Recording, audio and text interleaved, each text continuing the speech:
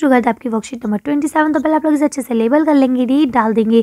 Class subject अपना नाम, अपना टीचर का नाम लिख लेंगे। आज हम लोग पढ़ेंगे अकबरी लोटे के बारे में, ठीक है? तो चलिए पढ़ना शुरू करते हैं। तो देखिए, यहाँ लिखा साहब बिलवासी जी को धन्यवाद देते हुए बैठ गए और लाला झाऊलाल की ओर इशारा करके बोले, आप इस शख्स को जानते हैं?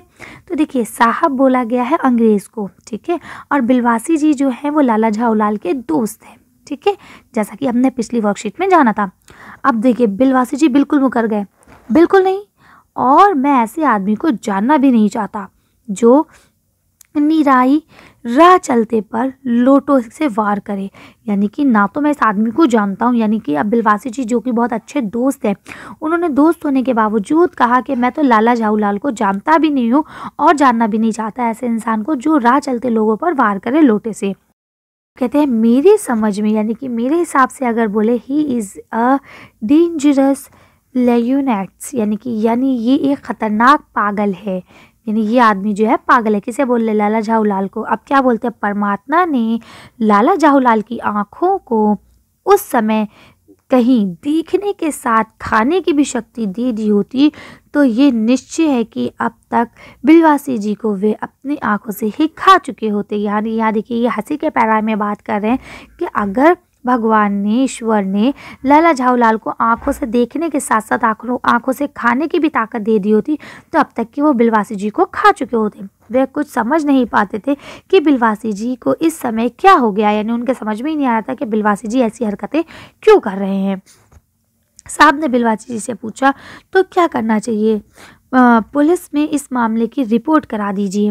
ठीक है, यानी कि बिलवासी जी से पूछा कि क्या करना चाहिए? तो बिलवासी जी जवाब देते हैं कि पुलिस में चल के इनकी रिपोर्ट करना चाहिए, जिससे ये आदमी फ़ौरन हिरासत में ले लिया जाए, यानी इसको फ़ौरन कैद कर लिया जाए। तो अब बिलवासी जी से, ये बिलवासी जी ने कहा, अब आदमी कहते हैं, पुलिस स्टेशन कहाँ है? पास ही है। चलिए मैं बताऊँ। यानी कि आप क्या कहते हैं, ये बिलवासी जी बोलते हैं, पास में ये चलिए मैं आपको बता देता हूँ कहाँ पे है। तो क्या कहते हैं, चलिए चलिए। ठीक है तो फिर वो बिलवासी जी अब बात को काटते हुए कहते हैं, अभी चला, आपकी इजाज़त हो तो पहले मैं इस लोटे को इस आदमी से ख़रीद लूँ। क्यों बेचेंगे? क्यों जी, बेचेंगे? मैं पचास रुपये तक इसके दाम दे सकता हूँ। यानी कि अब वो बोलते हैं कि आप दो मिनट रुकें, अगर आप इजाज़त दें तो मैं ज़रा ये लोटा इससे ख़रीद लूँ। और उससे, उसके बाद लाला झाऊलाल से कहते हैं, क्यों ये लोटा बेचोगे? पचास रुपए तक दे दूँगा मैं इस लोटे के आपको। लाला झाऊलाल तो चुप रहे, पर साहब ने पूछा, इस रद्दी लोटे पर के पास कि आप पचास रुपये क्यों दे रहे हैं? यानी कि ये कबाड़ लोटा है, इसके आप पचास रुपये क्यों दे रहे हैं? आप इस लोटे को रद्दी बताते हैं? आश्चर्य! मैं तो आपको एक विज्ञक और सुशिक्षित आदमी समझता था। यानी मैं आपको एक विज्ञान जो मतलब पुरानी चीज़ों की खोज करते हैं, वो और एक पढ़ा लिखा इंसान समझ रहा था। आप इसको रद्दी लोटा कहते हैं? आखिर बात क्या है? कुछ बताइए भी। अब अंग्रेज़ पूछता है, बात तो बताइए है, क्या बात? तो जवाब दिया कि जनाब, ये एक ऐतिहासिक लोटा है। ठीक है, जान पड़ जान क्या पड़ता है? पूरा मुझे विश्वास है कि ये एक ऐतिहासिक लोटा है।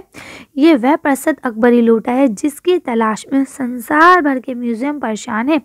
यानी कि पूरी दुनिया के जो म्यूज़ियम है, वो इस लोटे की चक्कर में परेशान अब देखिए, बिलवासी जी ने अंग्रेज़ को उल्लू बनाना शुरू कर दिया।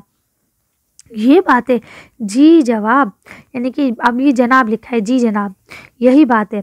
सोलहवीं शताब्दी की बात है बादशाह हुमायूं शेरशाह सूरी से हार कर जब भागा था तो वो सिंध के रेगिस्तान से मारा मारा फिर रहा था यानी कि वो यहाँ से भागा तो, तो सिंध रेगिस्तान में पहुँच गया था। तो एक अवसर पर उसे प्यास लगी। ठीक है, प्यास से उसकी जान निकल रही थी। उसी समय एक ब्राह्मण ने इसी लोटे से पानी पिलाकर उसकी जान बचाई थी। हुमायूं के बाद अकबर ने उसे ब्राह्मण का पता लगाकर उससे इस लोटे को ले लिया और इसके बदले में इसी प्रकार के दस सोने के लोटे उसको दिए, प्रदान किए। ये लोटा सम्राट अकबर को बहुत प्यारा था। इसी से इसका नाम अकबरी लोटा पड़ा, यानी कि ये लोटा अकबर को बहुत प्यारा था, इसीलिए इसका नाम अकबरी लोटा पड़ गया है। वह बराबर इसी से वज़ू करा करता था, यानी वज़ू समझते हैं ना आप लोग, जब नमाज़ पढ़ने के लिए वज़ू करते, सन सत्तावन तक, यानी कि अट्ठारह तक, जब तक अंग्रेज़ों का हिंदुस्तान पर कब्ज़ा नहीं हुआ पूरी तरह। इसके शाही घराने में ही रहने का पता चलता है, यानी कि तब तक ये शाही महलों में ही रहा। पर इसके बाद लापता हो गया नहीं इसके बाद ये गायब हो गया, क्योंकि भाई दंगे हुए, सब सामान इधर से उधर हो गया तो वो भी कहीं चला गया। कलकत्ता के म्यूज़ियम में इसका प्लास्टिक का मॉडल रखा है, यानी कि, ओ, सॉरी, प्लास्टर का मॉडल रखा है। अब कहते हैं कलकत्ता के अगर आप म्यूज़ियम जाएँगे तो वहाँ इसका प्लास्टर का, यानी ईट प्लास्टर से बना हुआ एक मॉडल वहाँ इस लोटे का रखा है। पता नहीं ये लोटा इस आदमी के पास कैसे आया। यानी मुझे नहीं पता इस आदमी के पास ये लोटा कहाँ से आ गया। म्यूज़ियम वालों को पता चले तो फैंसी दाम देकर ख़रीद ले जाएँगे। यानी कहते अगर म्यूज़ियम वालों को पता चल गया कि ये लोटा इसके पास है तो वो अच्छी खासी रकम दे के इसको ख़रीद के ले जाएँगे यहाँ से। है ना? चलिए तो अब आपने पढ़ा किस तरह से बिलवासी जी ने उस अंग्रेज़ को पूरी तरह से उल्लू बना दिया। ठीक है? चलिए, आगे पढ़ते क्वेश्चन आंसर उसको यहाँ आपका लिखा है, गद्यांश को पढ़कर निम्नलिखित प्रश्नों के उत्तर लिखिए। तो गद्यांश तो पढ़ लिया गया है, चलिए उत्तर देखते हैं। पहला लिखा है, बिलवासी जी ने अंग्रेज़ के सामने लाला झाऊलाल को पहचानने से इनकार क्यों कर दिया? अनुमान लगाकर लिखिए। अब आप अपनी थिंकिंग बताइए कि आपको क्यों लगता है उन्होंने इनकार करा होगा पहचानने से? आंसर यहाँ से लिखेंगे कि बिलवासी जी ने अंग्रेज़ के सामने लाला झाऊलाल को पहचानने से इनकार इसलिए कर दिया था क्योंकि वह बहुत समझदार व्यक्ति थे। और यदि वे लाला झाऊलाल को पहचान लेते तो अंग्रेज़ उनको के ऊपर भी गुस्सा करते और उनसे कभी भी बात खत्म नहीं होती और लड़ाई झगड़ा बढ़ता चला जाता। ठीक है? इसलिए उन्होंने पहले बिलवासी जी को पहचानने लाला झाऊलाल को पहचानने से इनकार कर दिया और उसके बाद लोटा भी उनका बेच दिया। चलिए अगला क्वेश्चन पढ़ते अब आपका यहाँ अगला क्वेश्चन लिखा है कि बिलवासी जी, क्या वास्तव में वह लोटा खरीदना चाहते थे? अपने उत्तर के पक्ष में कारण भी लिखिए अगर चाहते थे, अगर आप लिखते हैं हाँ वो खरीदना चाहते थे तो भी आपको बताना है क्यों खरीदना चाहते थे? और अगर लिखा है कि नहीं खरीदना चाहते थे तो भी आपको बताना है कि वो क्यों नहीं खरीदना चाहते थे। चलिए, इसका आंसर देखते हैं। आप आंसर यहाँ से लिखेंगे नहीं। बिलवासी जी, वास्तव में वह लोटा खरीदना नहीं चाहते थे, लेकिन वे बात को खत्म करके ढाई सौ रुपये का इंतज़ाम करना चाहते थे, है ना? कि बात भी खत्म हो जाए, लोटा भी बिक जाए, क्योंकि वो झाऊ लाल को लोटा भी पसंद नहीं था और उनको पता है उनकी बीवी को ढाई सौ रुपये भी चाहिए थे। तो इस तरह से वो इसको बेच के पैसों का इंतज़ाम करना चाह रहे थे। चलिए अगला क्वेश्चन पढ़ते हैं। यह आपका नेक्स्ट क्वेश्चन दिया है, बिलवासी जी ने, लोटे के संदर्भ में क्या कहानी सुनाई?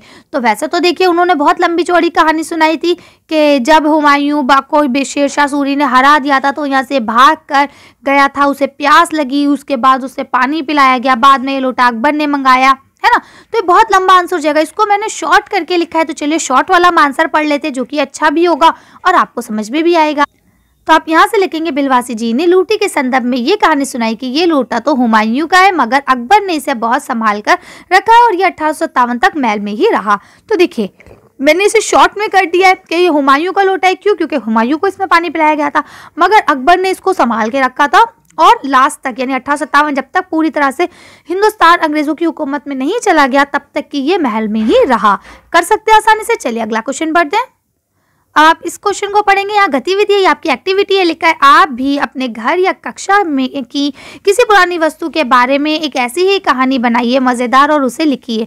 तो देखिए, मैंने भी एक छोटी सी कहानी लिख दी है। कहानी क्या लिखी है? बस एक जुमला लिखा है। चलिए देख लेते हैं, आप कहानी भी बना तो देखिए, हमने लिख दिया कि हमारे स्कूल में एक ऐसी कक्षा है, जहाँ पर बीरबल आके अपने हाजिर जवाबी के क्लास लेता था। यानी कि बीरबल ने जो हाजिर जवाबी थी ना, वो उसने हमारे ही स्कूल से सीखी। हमारे स्कूल में एक क्लास है वहाँ पे बीरबड़ की क्लास लगाई जाती थी हाजिर जवाबी के लिए। तो है ना इंटरेस्टिंग बात? तो इसी तरह से अब आप भी कोई अच्छी सी कहानी बना सकते हैं तो लिख लेंगे। चले तो आज की वर्कशीट कहीं खत्म करते हैं। आज की वीडियो में बस इतने अगर आपको मेरी वीडियो पसंद आई तो प्लीज़ इसे लाइक और शेयर करें। अगर अभी तक आपने मेरे चैनल को सब्सक्राइब नहीं करा तो प्लीज़ मेरे चैनल को सब्सक्राइब करें। Thank you for watching